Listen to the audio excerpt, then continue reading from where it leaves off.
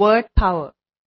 Today's new words are platitude, predilection, prevaricate. Platitude. What do the public expect from the politicians? They do not expect more platitudes about change but real action from political leaders. Predilection. What colors do young girls mostly choose? Young girls of a certain age have a natural predilection for the color pink.